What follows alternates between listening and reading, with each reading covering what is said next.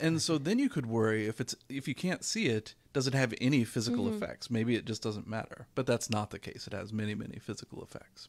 I see. So it is actually forbidden for any local measurements to ever see them. That's exactly right. I see. Uh, there are some very technical caveats to this. It turns out if you're if you live in a finite universe and you go to the corner of that universe, Mm-hmm. you can measure the internal index at two corners, Uh, right, Maybe right. four corners. You know, something like this.